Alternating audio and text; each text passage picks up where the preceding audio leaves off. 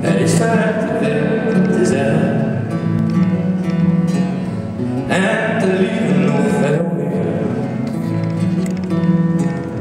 Heel veel paffen bloot te leggen, al doet het graag nog zozeer. Ik ben een eikel,